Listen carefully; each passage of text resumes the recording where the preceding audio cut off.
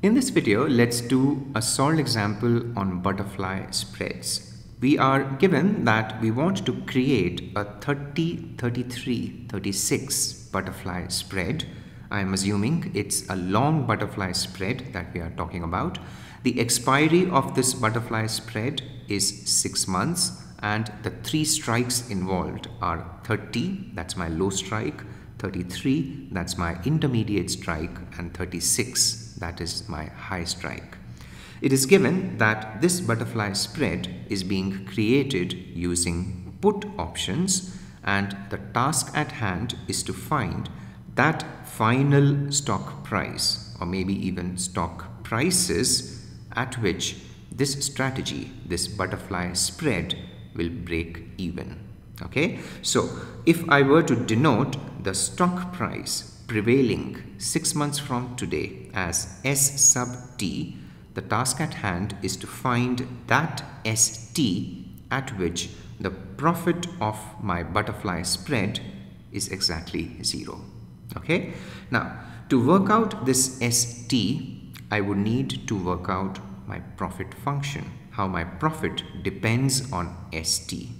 A key input to determining my profit is to determine the cost involved in setting up this butterfly spread. Okay. Please note that although it is given that this particular butterfly spread that we are creating is created using put options, we also know that butterfly spreads can also be created using call options. Put call parity, it tells us that the cost of setting up butterfly spread using call options exactly matches the cost of setting up a butterfly spread using put options. Okay, so although our butterfly spread is using put options, we can calculate the cost of setting up this butterfly spread using call option premiums which are given to us in the question. Okay, so let me introduce my notation here. K1, let it be my low strike. K3, let it be my high strike. And K2, let it be my intermediate strike. The cost involved to set up this butterfly spread is simply the cost involved in buying the low strike call plus the cost involved in buying the high strike call and we are subsidizing the total cost involved in buying these two options by selling two call options with the intermediate strike. Okay, quickly plug in these premiums from this table and confirm that the cost involved comes out to 0.37 or 37 cents. Now, to work out the S sub T at which break even happens, we need to write down or we need to figure out how our profit depends on this S sub T. Okay. Now, please note that there are three strike prices involved 30, 36 and 33.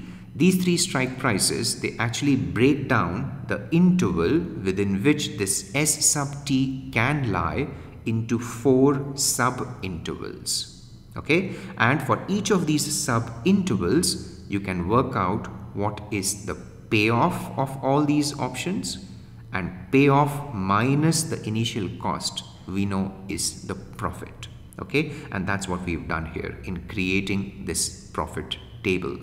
Now if I were to take a look at you know the profits in different sub intervals Subinterval 1 and subinterval 4, they are completely ruled out as far as break even is concerned because in these two subintervals, the profit doesn't even depend on ST and the profit in these two subintervals is not zero.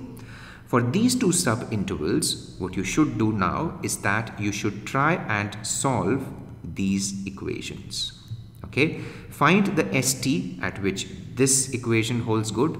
Check if that ST does lie in this subinterval or not.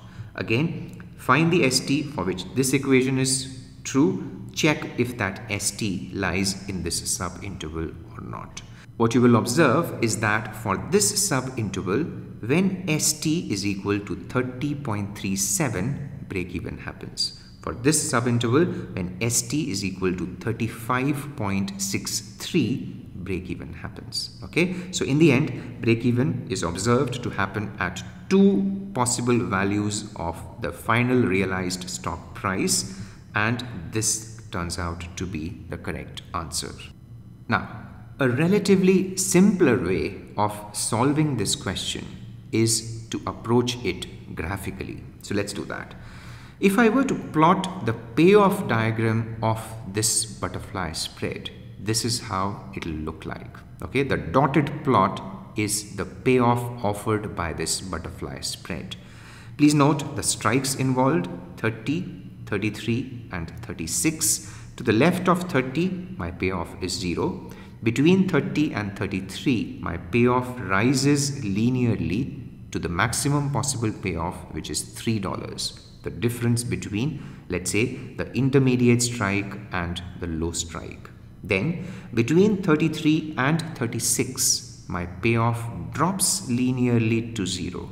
And then, beyond 36, I mean to the right of 36, my payoff is 0 okay now to get the plot for the profit as a function of s sub t just take the plot for the payoff and vertically pull it downwards by the cost of this strategy. And that we know is 37 cents. Okay? So this vertical distance is 0.37 now please note that this line has a slope of 1 okay? This line is tilted at a 45 degree angle. When I say the slope is 1 it means that for every $1 change in ST the, the line it rises by $1 okay? The rise is 1 for every run of 1 okay? Now this line has a slope of minus 1 okay? For every increase for every change in st by one dollar this line it drops by one dollar. Okay? So this tells me that this vertical distance is the same as this horizontal distance again this horizontal distance is the same as this vertical distance so break even which i have you know I'm observing in this plot happens at this point and at this point you know we can easily work out the stock prices corresponding to these two points at which break even happens.